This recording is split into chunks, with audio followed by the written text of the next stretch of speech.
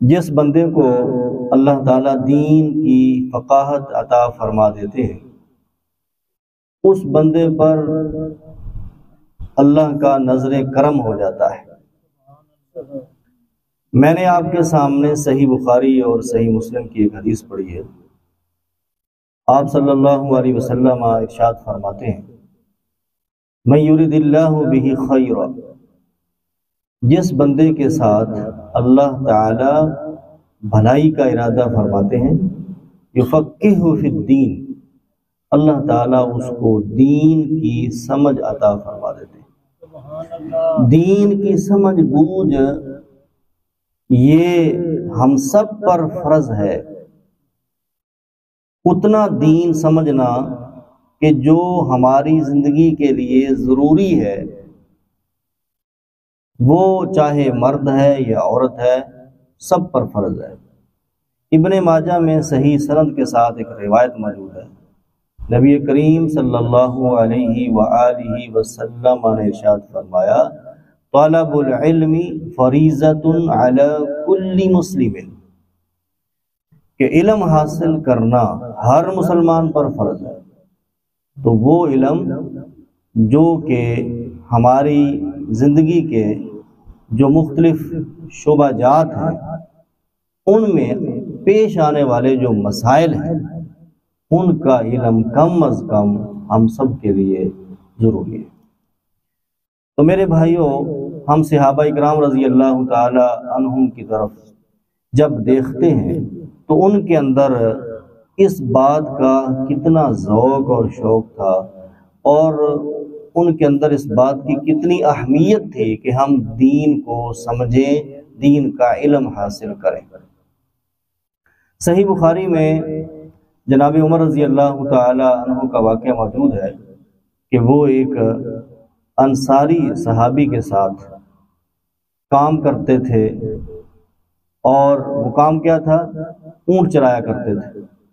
عمر رضی اللہ تعالیٰ عنہ بیان کرتے ہیں کہ ایک دن وہ انصاری صحابی اونٹ چرانے کے لیے جنگل جایا کرتے تھے اور میں وہ سارا دن رسول اللہ صلی اللہ علیہ وسلم کے ساتھ رہتا تھا۔ جو کچھ اس دن آپ بیان کرتے، دین کی جو بات بیان کرتے، میں اس کو یاد کرتا تھا۔ اور اگلے دن میں اونٹ چرانے کے لیے جایا کرتا تھا۔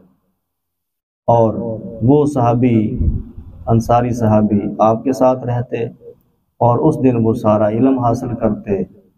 تو جس دن میں علم حاصل کرتا، وہ علم میں اپنے انصاری بھائی کو بتاتا اور جس دن وہ آپ کے ساتھ رہتے، تو اس دن کا علم وہ ہمیں بتاتا، مجھے بتا دیتے میرے بھائیوں، اس سے ثابت ہوا کہ صحابہ کرام رضی اللہ تعالی مجمعین اپنا ایک دن کا کاروبار بند کر کے علم کو ترجیح دیتے تھے۔ تو اس واقعے سے ہم یہ سمجھے ہیں کہ دین کا علم حاصل کرنا بہت ضروری ہے۔ سنن نبی داود میں صحیح سند کے ساتھ حدیث موجود ہے۔ رسول اللہ صلی اللہ علیہ وسلم نے ارشاد فرمایا، شفاء العی السوال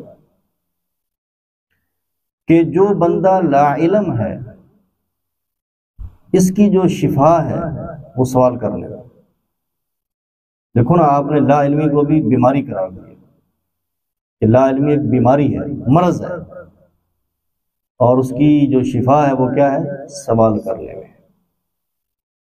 اور قرآن مجید میں اللہ تعالیٰ نے ارشاد فرمایا، فَاسْأَلُوا أَهْلَ الذِّكْرِ إِن كُنتُمْ لَا تَعْلَمُونَ۔ کہ اگر تمہیں کسی چیز کا علم نہیں ہے، تو تم اہل علم سے سوال کرو۔ حدیث جبریل مشہور ہے، بخاری اور مسلم کی روایت ہے۔ کہ ایک دن جبریل علیہ السلاۃ والسلام انسانی شکل میں رسول اللہ صلی اللہ علیہ وسلم کے پاس آتے ہیں اور انہوں نے آپ کے سامنے بیٹھ کر یہ بھی ہمیں بتایا کہ ایک طالب علم کو کس قدر معدب ہونا چاہیے۔ کس طرح وہ بیٹھے؟ فَأَسْنَدَ رُكْبَتَيْهِ إِلَى رُكْبَتَيْهِ کہ انہوں نے اپنے گھٹنے رسول اللہ صلی اللہ علیہ وسلم گھٹنوں کے ساتھ لگا اور سوال کرتے ہیں۔ مختلف سوال ہیں، تین چار سوال انہوں نے کیے۔ ایک سوال یہ تھا کہ اخبرنی عن الایمان۔ ایک سوال یہ تھا اخبرنی عن الاسلام۔ ایک سوال یہ تھا اخبرنی عن الاحسان۔ اور ایک سوال یہ تھا کہ متسع قیامت کب آئے گی؟ تو آپ نے سارے سوالات کے جوابات دے دیے۔ جب وہ چلے گئے تو رسول اللہ صلی اللہ علیہ وسلم پوچھتے ہیں صحابہ سے رضی اللہ عنہ کہ تمہیں معلوم ہے کہ وہ سائل کون تھا؟ تو صحابہ کہتے ہیں کہ ہم تو نہیں جانتے۔ تو آپ نے فرمایا کہ وہ جبریل تھے۔ آتا کم یو کم دین وہ کس لیے آئے تھے؟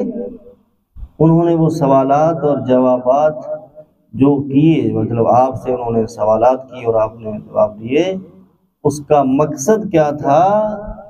تاکہ وہ تمہیں تمہارا دین سکھائیں۔ تمہیں تمہارا دین سکھانے کے لیے سوالات ہو رہے ہیں۔ حالانکہ جبریل کو ان کے جوابات کا بھی پتہ تھا۔ اس لیے صحابہ کہتے ہیں کہ ہمیں بڑا تعجب ہو رہا تھا کہ وہ بندہ سوال بھی کرتا ہے اور تصدیق بھی کرتا ہے۔ کہ آپ نے ٹھیک جواب دے دیا؟ تو ان باتوں کے بیان کرنے کا مقصد ہی ہے کہ ہمیں دین کے بارے میں سوال کرنا چاہیے۔ جس بندے کے ذہن میں دین کے بارے میں، عقیدہ توحید کے بارے میں، یا دیگر جو مسائل ہیں تہارت ہے سلاد ہے، زکوٰۃ ہے، حج ہے، عمرہ ہے، تجارت ہے، نکاح اور طلاق ہے، دیگر معاشرتی مسائل ہیں، ان کے متعلق ہمیں سوال کرنا ہے اور تاکہ ہمارے اندر جو لا علمی کی بیماری پائی جاتی ہے، وہ دور ہو۔ اور ہم شرح صدر سے اللہ کے دین پر عمل کر سکیں۔ تو یہ مجلس جو ہے، خصوصی طور پر اسی لیے منعقد